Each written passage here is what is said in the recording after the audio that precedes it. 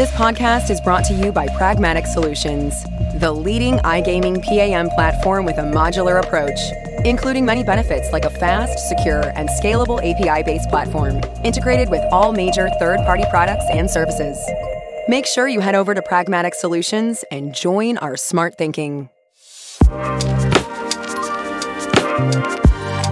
Ewout Wierda, General Counsel of uh, Videoslots. It's great to have you here in the Nerve Center of uh, Next uh, today. How are you doing, Ewout? Well, I'm, I'm, glad to be here. I'm very impressed. Yeah. It's, it's really cool in here. Yeah, yeah, yeah. Yeah, it's cool. We are happy in this uh, studio here. Um, so basically, uh, Ewout, uh, we are here to talk about uh, the Netherlands today. And obviously, Video Slots two months ago uh, through Alex Stevendahl released a statement that uh, you had gotten a fine of uh, almost 10 million euro due to violations of the Dutch Gambling Act. Can you start first to talk about what happened and on what basis was this fine handed out? Yes, yes, and we we, we uh, brought it out ourselves because we, we could see that it was unavoidable, and we, we were also afraid that the publication by the KSA itself in the Netherlands would, would not be balanced and neutral. And we were right about that, and, and, and it's actually good, therefore, that you ask, because when you read on their website uh, that we got fined, you might get the impression that we got fined because we displayed a logo for licensed operators without having a license, with the intent of attracting customers that way. Right. And that's simply not the case and and they are well aware of that because if if you look and then into the uh, decision that they also published, uh, the the fact that there was a, such a logo published for a short while by accident. Um, that fact is not what we got punished for. That was an aggravating circumstance. That that's something they looked at as making it worse. What right. they perceived we did wrong, and and even that we didn't actually do. You have in the Netherlands, under the uh, Act uh, on Games of Chance, you have a prohibition on offering gambling services without a license. And that's Article A, uh, 1A. Then under 1, I believe it's D, could be wrong, could be C, but I believe it's D. Uh, you have a provision that says if, if you make the impression on, if you mislead consumers into thinking that you have a license when you don't, in order to offer your gambling services and make a, an extra profit, uh, then that's prohibited and punishable. Now, when you again, when you read what the KSA published, it seems that that is what we did wrong, but that's not the case, and that Article 1D is not in the decision. It is Article 1A, where we were alleged to have um, not made it impossible for consumers in the Netherlands to uh, to participate in gambling on our website.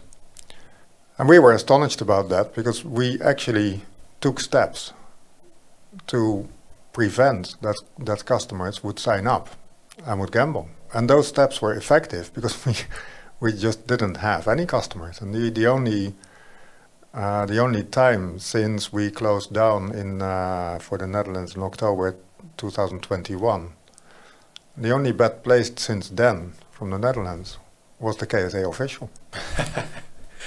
who, who made a 20 cent uh, bet there. So, 20 so, cents bet, yeah. So essentially what happened in a nutshell is that uh, the KSA were trying to figure out ways how to deposit money and play uh, on Videoslots uh, from uh, within the Netherlands. And when they failed to do so, they essentially um, uh, signed up an account through a VPN uh, and then deposited money and played. And, and that mm. was the basis then essentially that generated this mm. 10 million fine that was then aggravated by the fact that for a short while there was a KSA logo at the bottom mm. of the website. Well, like and that. that. that logo actually triggered their their uh, investigation. So right. we had actually uh, been preparing a license application on, on the platform. Um, by mistake, a developer released some some of the adjustments for the Dutch rules, uh, not on a test site, but unfortunately on the live site. And that was picked up by a, a, a, a Dutch online news resource on, on, on Casino. And the KSA picked up on that and then started trying to get into the website. And uh, they managed by pretending to be a German customer. Right. Now, there's nothing wrong with us accepting German customers. We uh, we were working there in Germany at the time under the transition regime there. Uh, so we have no need to block German customers. So if the KSA pretends to be a German customer. But when you say they pretend to be a German customer, mm. what, what do you mean by that? Well, it was impossible to select the Netherlands, so they selected Germany as a country of residence. Then it was impossible to select the Netherlands for the uh, phone number, and yeah. they uh, provided us with a German uh, phone number. Right. And um, and of course that that's that's a pretense that you can't really arm yourself against. Right. So. Right, I understand. And, and so looking at this situation, and we're going to go into kind of the uh, legality of this fine, and, and obviously you're disputing it. Um, but is there anything that you think now, looking back in hindsight, that you have learned from this experience uh, as Videoslots? Like, is there a way to tighten up these processes? Is there any responsibility mm. on the side of Videoslots, do you think, or is it uh, totally out of line by KSA to uh, to to uh, to uh, put this fine on on Videoslots? I think that the KSA is well out of line on this, and that doesn't mean that you can't do something yourself, having learned from the experience. Now, when when you when you realize that regulators are prepared to go well out of line, you have to take a far more cautious approach than perhaps you did before. And if if if there are two ways to restrict a website, then you can use both ways. Right. And and that's perhaps what we started to do. Um, but the fact that there are more ways to, to, to restrict a website doesn't mean that they're all necessary. And uh, and I really believe that the KSA was, was far out of line. Because at, at the end of the day, arguably, we're, we weren't even in the Netherlands. Because if you restrict a website from accepting customers, and you make it with your restrictions on, on the registration and otherwise, you make it so clear that you do not foresee and do not intend to have customers from a country, then the way I understand law, you are not in that country. Right. Right, right. And, and, so it was two months ago that uh, this uh, fine was announced. Obviously, mm. you've known about this for longer. And um, Alex came out uh, again to uh, to say that uh, Videoslot is going to uh, dispute this. His quote was, "Sometimes you have to stand up for what is right." Yes. Essentially, and Alex is yes. an opinionated person, of course, as we yeah. as we both know. And so since then, um, where are you now in this legal process? What has mm. happened since that uh, this came out yes. to now? Well, we a lot a lot of activity actually, and and, and on that quote, see, we we believe that it's right to admit to your mistakes, but also uh, to to stand up for what's right when you're being held responsible for something that that isn't even punishable. Uh, like, like what I mentioned about that logo is not punishable at law in the Netherlands if you don't have the intention. And you know, clearly, we did not have the intention to display that logo uh, by accident for a while. So sometimes you have to do the, the, the opposite equivalent of admitting to your mistakes, which is to hold regulators accountable for their mistakes. Right. And um, and that's what we're trying to do, and we will try to keep on doing that for as long as it takes, in order to uh, to to have this this KSA decision reversed, either by the KSA itself or by a court. We are now in the process of uh, objecting against it, and in the Netherlands that means that you, you uh, object against the authority itself. It's a little bit like the regulatory panel of the Gambling Commission in the UK, where within the organization itself there is a, rev a, review and potentially a revision of the decision. And after that you can uh, appeal to court. And if you still don't uh, get a, a, court decision that, that uh, you feel is right, you can go into uh, appeal from that at the Supreme Court.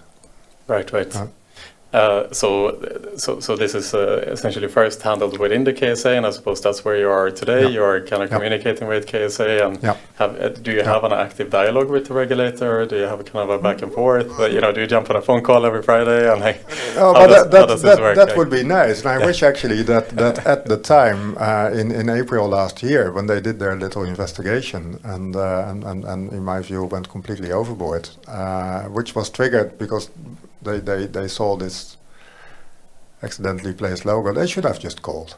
You know, if, if we would have been able to have a meaningful exchange with a regulator like the KSA, so many things would not be, need to become an issue. The KSA at the moment is dealing with a number of cases. I have the impression that they're quite overworked themselves, Hmm. um, and that perhaps wasn't needed. Uh, I, I think that many companies in the industry are quite responsive to uh, an email or phone call saying you need to do better or you made a mistake. Yeah. And uh, and as said, you you admit to it, take corrective action Right.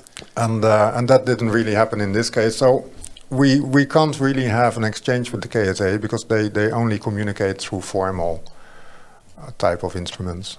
Right, and, and that is in general uh, the communication with uh, an agency like KSA. You, you don't really have a contact person with the regulator. No. There's never really any feedback back and No. forth to interpret regulation and so on. No. It's like it's a guessing game. Yeah, and, and, and that's that's uh, that's good that you mentioned it actually because that's that's such a big disadvantage because if a regulator is clear on what their expectations are, uh, you will, you will likely want to comply with that, you know, unless they're completely overboard and wrong. But but many times regulators are reasonable, and I would say in the overwhelming majority of situations, regulators are reasonable enough. You just do what they want if you can and if you know what it is. But a regulator doesn't communicate. So, so in the case of the KSA, for an example, they, they could have communicated what they think uh, is needed and acceptable in terms of trying to make access impossible. That's their requirement. You have to make access impossible. I think you know as well that you cannot make access to a website impossible. Now, if the FBI gets hacked, right. you know, I, I rest my case on that one, I guess. um, now, if, if, if then they would tell us what steps would be sufficient to try and make it so difficult that it could be deemed to be impossible, if they want to use the term impossible, um, that would be really helpful. And uh, had we known something like that, we would have probably simply done what, what they expect Right. and, and the issue would never have arisen. Right. But now instead, uh, this Mm. this clarity from the regulation will only come from basically KSA communicating fines, and from there you get kind of Yes, clues yes. uh, along the way, so to say. Yes, but it, it's both for them and for us. It's it's it's it's so unproductive because we we had restricted the website very clearly, and actually, their report on their investigation documents that we had restricted the website. Now, what what point is there to you know to to to create all this trouble around it? rather than to simply make clear in advance this is what we want. And if you don't do that, then you might be in trouble. Right. Hmm? And also the sum of the fine. So Videoslots were fined 10 million euros. Hmm. Yeah. A lot of money, of course. And Yeah, for a moment there, we thought it was a record, but then there Yeah. was another company that took the, uh, yeah, then obviously N1 Interactive, the 12 doubtful other. um, bet points, uh, white label casinos, and so on, uh, Yeah. were also kind of dragged into uh, into this uh, round of, of uh, fines. What what is the basis for the numbers that are handed Mm. out? Because if we go back, you know, I, I look at our reporting at iGaming NEXT when we report on fines, and throughout the years, especially the last say two years, uh, Mhm. the fines have uh, really escalated. Not not just uh, in the Ne- Netherlands, but with other regulators as well. The UK is a good example where Yeah. fines are just constantly escalating. Uh, what is the um, what is the uh, logic behind um, KSA establishing this 10 million euro number? Where does Yeah. it come from? So I, I think the KSA is on a slightly different path than some other regulators. Um, you, you mentioned the UKGC, where I think a few factors play a role. One is that the UKGC increasingly wants to make clear that that, that non-compliance does have consequences. uh, they also want to make clear that if if you are found repeatedly to not be compliant, that that carries a price too. And uh, and I think in some cases, in in, in you know, more recent times, uh, UKGC has has uh, taken action against very large groups. And and I think it's only fair that a very large group would perhaps uh, pay a higher absolute amount than a very small outfit. I think that that's what's happening in the U UK uh, GC, but but clearly there is an increasing pressure. Now, and I think the KSA has taken that to the next level and, and beyond. Um, I think they have wanted to to be intimidating a little bit to the industry, uh, but also particularly I would say it was for the the the political audience at home. You know, and I, I, I think it's it's very much a case where they can have publicity uh, in the Netherlands and also you know be seen by politicians as as being extremely strict and being effective. And, uh, and the question of course is is that a real effectiveness and are those amounts really justified? And I would say no, because if, if, if you look at the legal position, then they have defined what the income of a company is, specifically in violation of law, in order to make it more expensive to operate without a license and be caught than to operate with a license. And, um, and they have applied two, three, or four layers of guesswork in order to come to the amount. And by law, a regulator is not supposed to guess, but to establish, to assess, to determine. And what instead they did is they based themselves on, on, on imprecise traffic data, on, on uh, the ratio between traffic and, and GGR of three other companies, then the ratio between GGR and bets another piece of guesswork, and in the end, they applied a correcting factor because they realized it wasn't precisely yeah. on target at all. and um, and even that correcting factor was a guess. So all in all, we don't we don't see any any realism really in in the amounts being fined. Right, right, right. And you know, with this approach that the regulator is taking in the Netherlands, uh, is it uh, is it worth pursuing um, a license in the Netherlands? Like, how, how does Videoslot now look at the Netherlands uh, market, for example? Are you still pursuing this license? Uh, well, it, it, it, it's becoming clear as the KSA comes out with, with fines also on on uh, licensees that it is clearly far more expensive uh, to have a situation where an official can get into your website with, with you know, false pretenses. Uh, when when you restricted it, that's that's far more expensive than when you have a license and you you knowingly allow customers who are excluded to play for a few days. Now that that will cost you only three hundred or four hundred thousand, something in that region. So from that point of view, it's it's it's probably a good market to operate in. Then again, I would say it is not.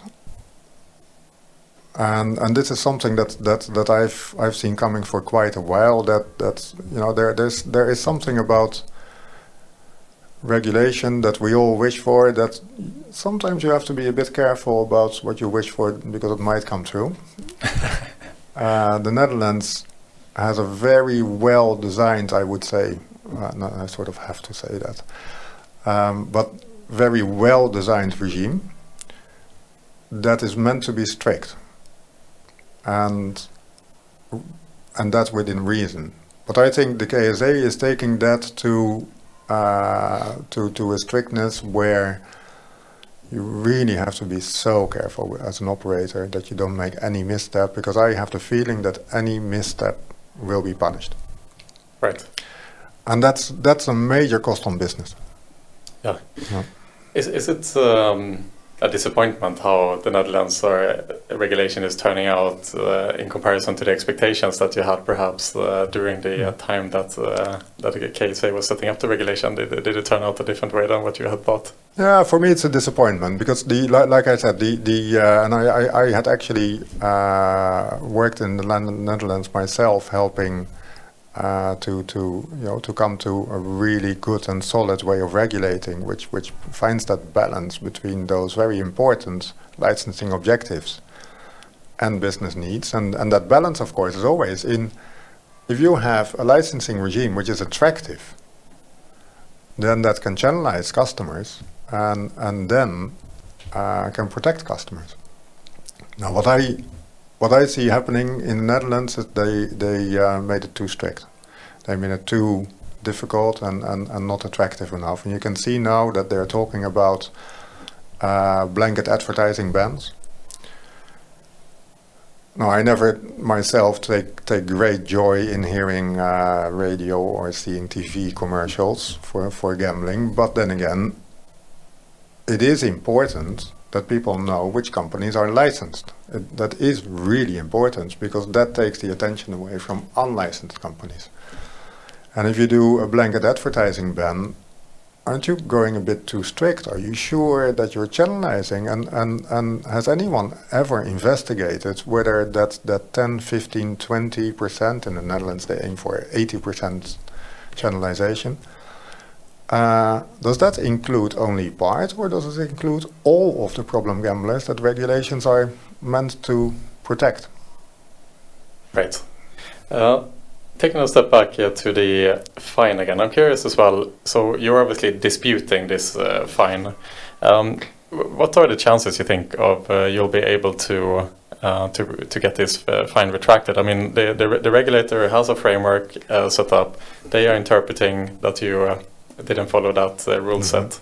Uh, but uh, you talked about the kind of interpretation of this and if the fine is legal for KSA to hand out. But how would you be able to prove that this fine is is is not legal for KSA to hand out to you? I think the the um, the basis for all of it is the European legal framework.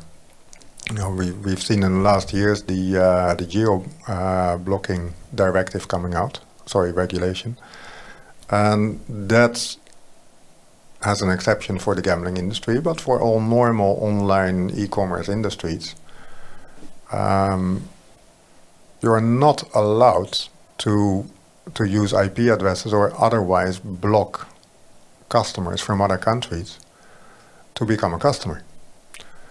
Uh, you are allowed, when you have an online web, web shop, you are allowed to not want to deliver to another country but you must not have such a, an, an, an, a form for registration as a customer to buy some goods that you cannot fill that in with a postcode, postcode from another country. And the reason is that that that's the equivalent of you know when when you live in let's say Belgium, and you know that that uh, car parts are cheaper in Germany. You are allowed to go online order a car part, drive across the border and pick it up. And, and therefore the starting point is to not block. Now then, then you can look at certain uh, regulations like uh, the Rome and Brussels regulations on what law is applicable to a, consumer transaction, uh, what courts are competent to look at that, and they all have the same the same rule sets and even the GDPR has that same rule set, which is um, what does a company direct its services to? Is that its own country? Is that other countries? And then you're going to look at targeting criteria. Now, and if you if you look at the the website itself from the KSA itself of, of let's say two years ago, they actually had a reasonably clear list of targeting criteria. And if you if you uh, violate those criteria, you are targeting a country, and at that moment, legally, you're deemed within the country. And that's that's how European law looks at it. Um, and in that sense, you have the active customers who who cross the border themselves to a company that passively accepts customers, and you you have the reverse, where you have a company uh, that possibly actively crosses the border, targets customers, who then passively um, be become customer customers in a way. And uh, I think European law is very clear on that. And I think in the Netherlands, uh, the KSA and, and, and, and, courts will have to accept that they work in that framework. Right. Yeah. But it must be uh, it, again. It must be a process that will take a long time, I would imagine. So and and uh, so it, the um, the kind of the give and take here, I would assume, uh, what is that uh, while you are waiting for a court decision, uh, you will also be waiting for the license itself.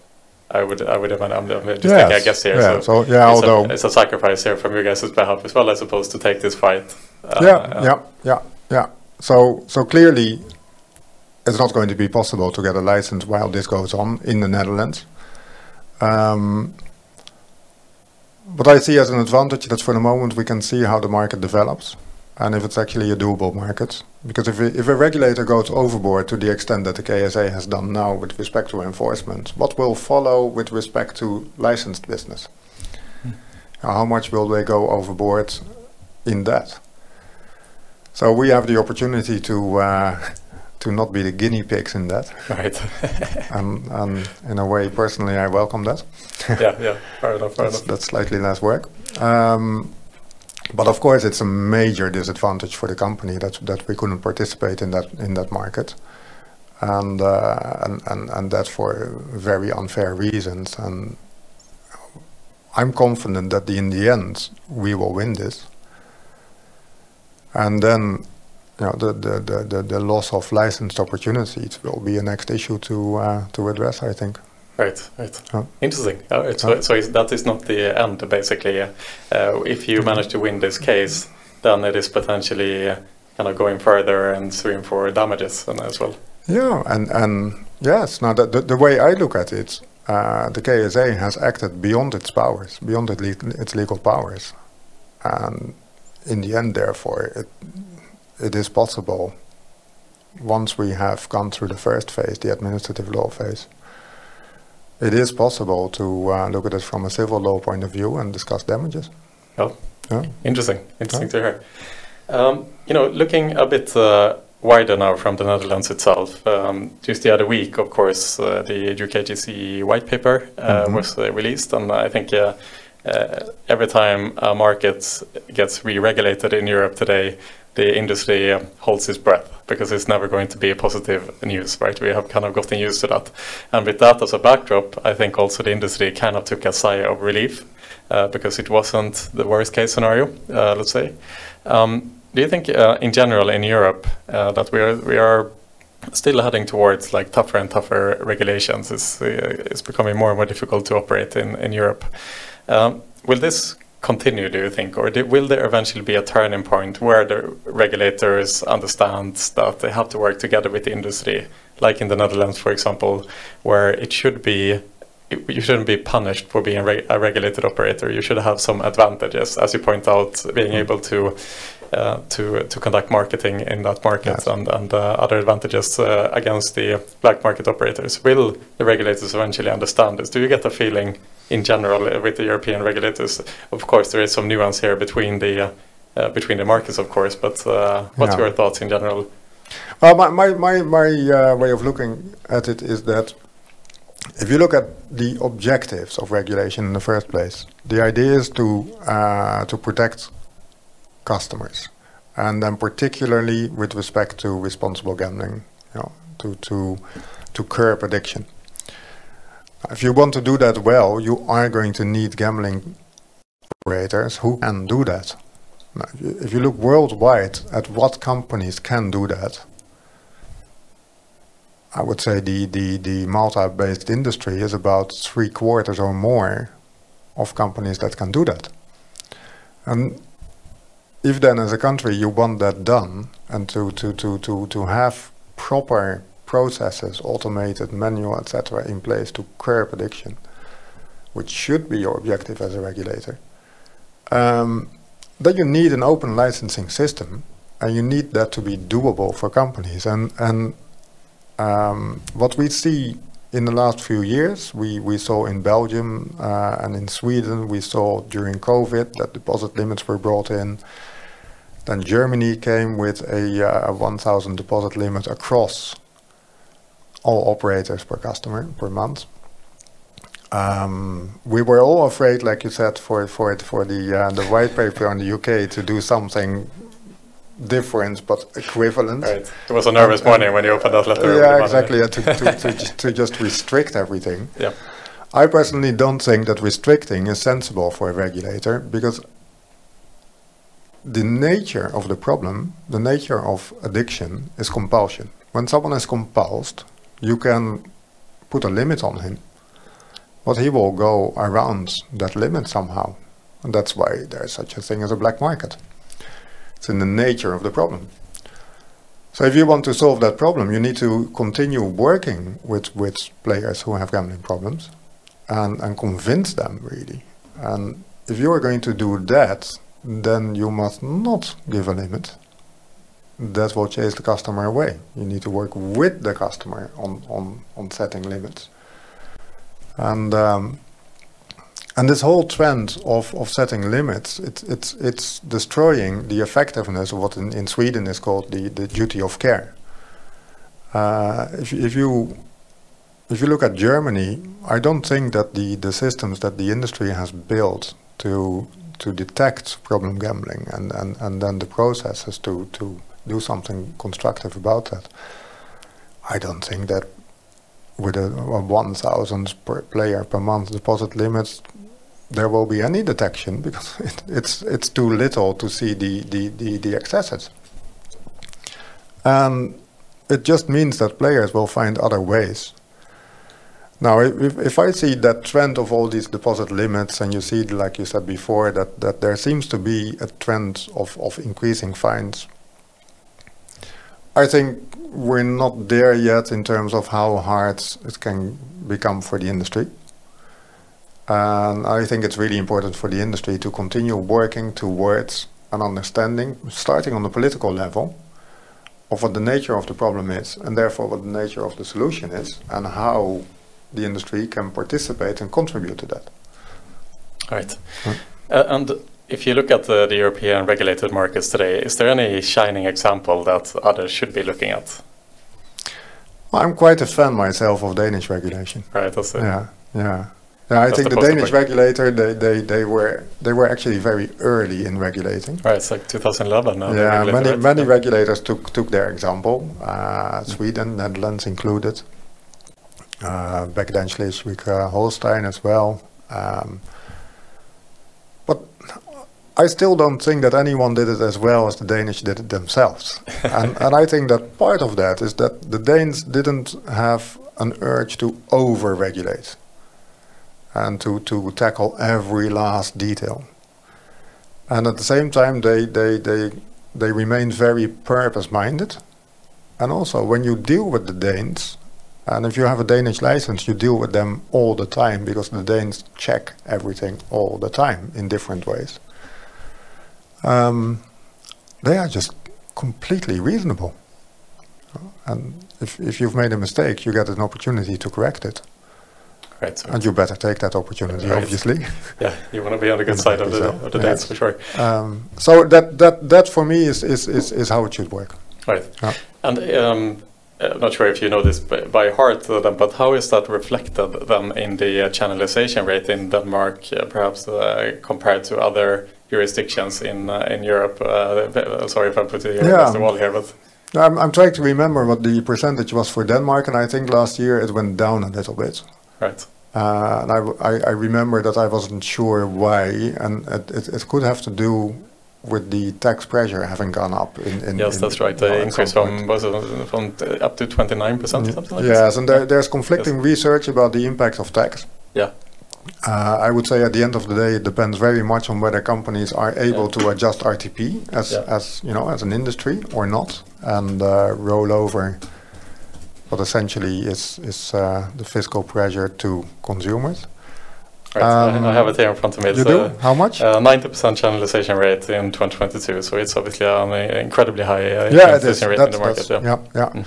In uh, in Sweden, there uh, there were some very uh, to the point comments on that from uh, I believe it was Booth uh, when when 90% was discussed at the target, which is does does that mean 90% across all verticals, including lotteries, or is that 90% for online? So uh, here we talk about the, let's see here, I'm, I'm reading actually our own uh, news story here at Next. Mm-hmm. Uh, so, so, it says, uh, since the launch of its regulated markets in 2012, the proportion of the gambling in place within the licensed operators has grown to over 90%. Um, but I'm trying to see here if it's uh, online only. Uh, they, they, talk about across the 57 gambling licenses. so not exactly sure if that includes offline gambling as well. To be honest with you. Um, that that yeah. tells a lot because if, if yeah, you look at, if, if yeah. you look at lotteries, those are 100% channelized almost. Yeah, yeah, of course. It's uh, so. So you could have uh, you could have a, a, national average channelization rate of, of something in the region of 85%, and still have only 70% for online gambling. Now, if then right. you calculate, if it, you know, the, the, UKGC had had published uh, at some point some some helpful numbers on that. Yeah. Um, that in a gambling population, especially in online gambling population, especially when it's about online casino and sports, yeah. you should expect certain numbers, certain percentages of, of, of, of players to uh, to be at increasing risk of problem gambling. Yeah. Now, if you take all those numbers together, then you should expect that somewhere between 15 and 30% of the player population is at a risk, starting at low risk, of course. Um, and I'm mentioning that because if you have a channelization of no more than 70%, that means that all people who are at risk might not be playing right. with licensees. So then the question is, why did you regulate in the first place? And uh, I think that Denmark with 90% has done more or less as well as you can. Yeah. You you just can't expect to have 100% channelization in an on online environment, but 90% is quite good. Yeah, yeah. Yeah, interesting. Yeah, it'll be interesting to read in uh, more of the, of the, breakdown here. We'll, we'll have to do that offline after this yes. uh, recording here. Um, another question, if we look even wider than, than Europe itself, uh, we talk about uh, the kind of the lack of communication between the industry and, and, the, um, and the stakeholders politically and regulatory wise. Um, so that's obviously a challenge that um, seems to be taken for granted over here in Europe that we just don't have any chance to communicate with the with the actual stakeholders and influence yeah. them and lobby them and so on and so forth. Uh, however, if we look over the pond over to uh, the United States, they've established an incredibly strong lobbying organ in the AGA, in the American Gaming Association, that's been active obviously for you know decades. Um, previously, very focused on the land-based sector and very much lobbying against online. But then with the passing of Sheldon Adelson, the uh, uh, legendary um, owner of the Venetian, um, the AGA then kind of turned turned the page and welcomed the online uh, sector into into its uh, membership uh, base. And so the AGA today is uh, obviously lobbying for continued um, uh, regulation within the within the states. Um, so today, 30 plus states are either open or about to open for sports betting. Uh, a couple of them are open for online uh, gambling as well. Um, so they have figured out uh, a way to unite the industry over there, both the land-based sector and the online sector together. Whereas here in Europe, uh, we see a very fragmented online space, particularly. Uh, on the land-based side, on the other hand, there are some organs uh, that are able to to lobby more effectively. Um, why is it, do you think, that you know in Europe we have most of the biggest online gambling companies in the world based either in the UK or in Malta, and seemingly they are for the most part working as individuals. When there is so much at stake that one market, like the Netherlands, for example, what happened um, a year and a half ago, uh, overnight, operators had to shut off uh, the entire operation. Kindred lost 35% of EBITDA overnight, totally unexpected. Why is it, do you think, that uh, the industry is not able to unite itself in order to, uh, uh, in order to uh, kind of influence the regulators in in one way or the other? It's hard to say actually, and, and I think I think it's always a matter of do, do you really have sufficiently overlapping interests? And sometimes that that's not entirely the case. For an example, if you have a, a large market share in the Netherlands, like Kindred used to have, and you do responsible uh, operations, like like uh, they have always shown, and like at some point in their case was even confirmed by a civil court in the Netherlands. Uh, you you might have slightly divergent uh, interests compared to companies that skirt the rules more and that are more opportunistic, etc. And and I think that that that sometimes plays a role. I think what also plays a role is that uh, we we have so many more languages than there are in the US. So it is simply more difficult to do things across the union compared to how it is to do things across the states. And um, and I think it's also a matter of do you do you actually have the the access time and capacity to invest in it? Because when you do want to work together with other companies, you and, and you want, do want to be as strong as you described just now. Uh, you need to invest time and money in that, and and quite a bit. And in Europe, we have been under such massive pressure for for years and years now to reach an ever higher level of performance when it comes to meeting licensing objectives. And on the one hand, that pressure has enabled us as, as a Europe-based, like you said, Malta, Sweden, UK-based industry to to be probably much better than, than what you see elsewhere in the world in what we can achieve towards licensing objectives. On the other hand, who really has had the time to invest in working together and, and, and, and also take that leap of faith. Now, luckily, we, we have some really good examples of where it does work. I mean, there's EGBA, of course. Yes. And, uh, and in Malta, we have iGen.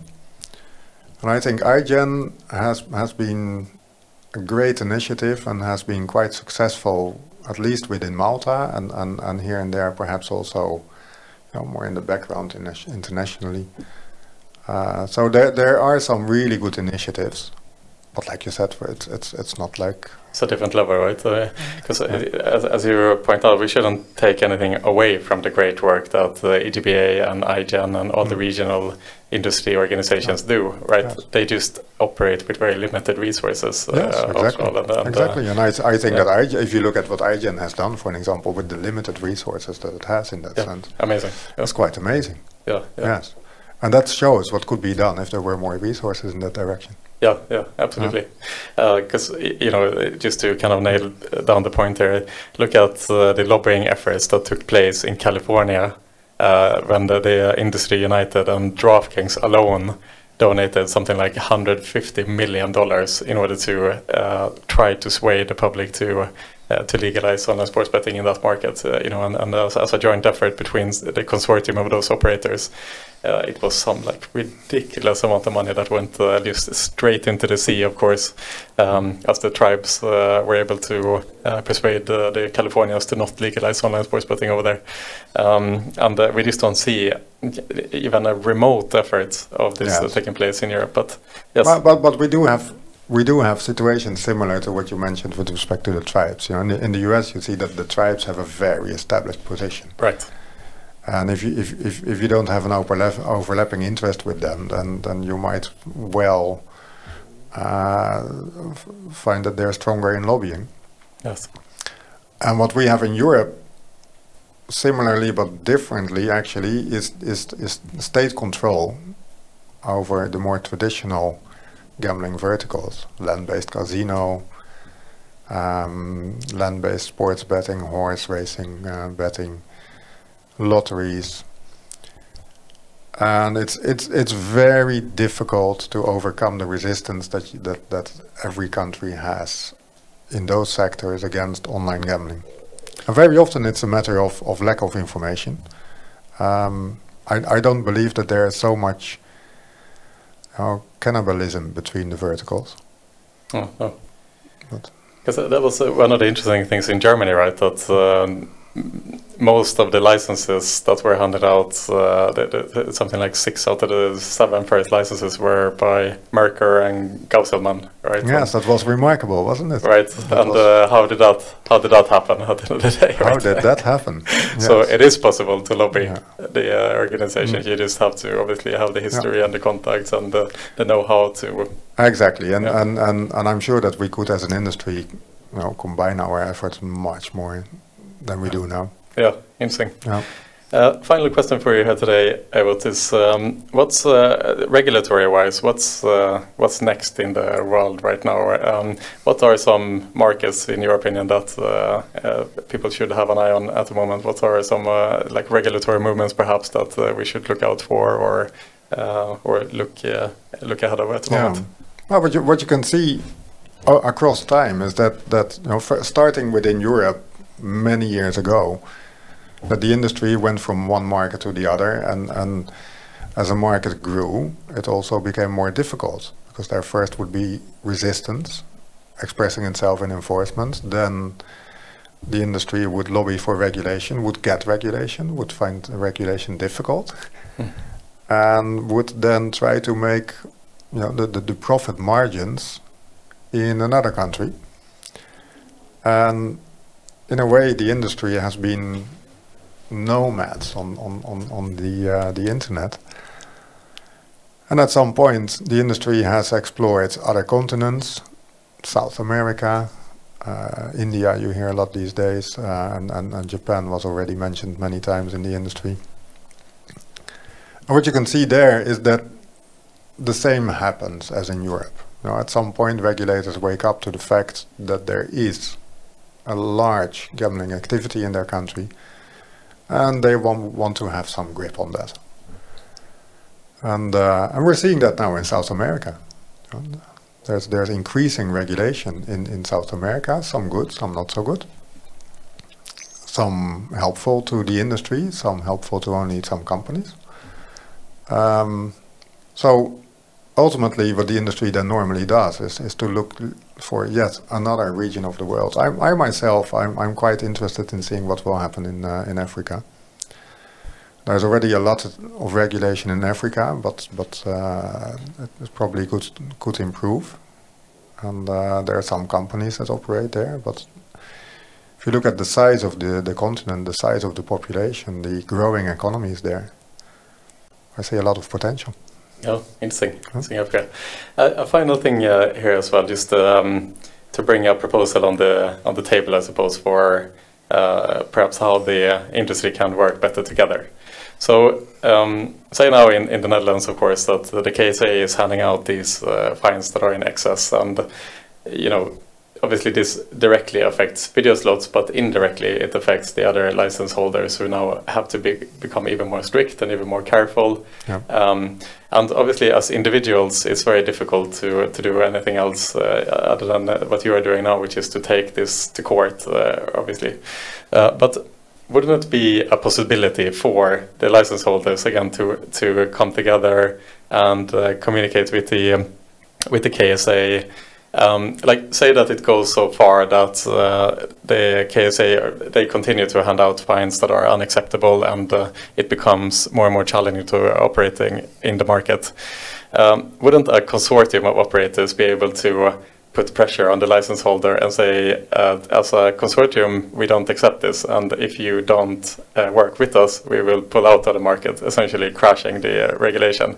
Uh, wouldn't that be a way for the industry to be able to influence? Because at the end of the day, politically, if um, we have to see it from that perspective, that the KSA answers to the politicians and the politicians answer to the people, and uh, the politicians they don't want to look bad in front of the people, right? So uh, they don't want the regulation to crash because that reflects bad on them. So wouldn't it make sense if the industry come together and put that pressure on uh, the regulator together? Or am I am I dreaming too big here?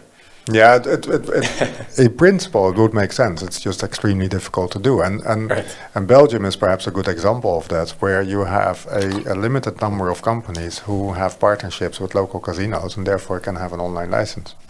Um, there are no free online casinos anymore, except for perhaps the one. Um, and therefore the market is closed for further licensees or, or license applicants.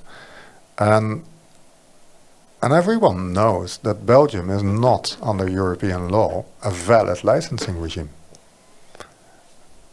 But part of the industry is interested in maintaining the status quo, and part Right. of the industry is not. What would be far Right, more if effective is that the, if the whole industry Yes. would would uh, would take a united approach and get the sort of regulation that is good for the whole industry. Right. Right. It's a challenge. It is a concept uh, that's called um, the Moloch. Uh, it's called, uh, and Mhm. um, basically, what's happening now in the AI world, in the AI front, is like AI is developing so fast, right? And and some voices are saying we should put a brake on the development of AI.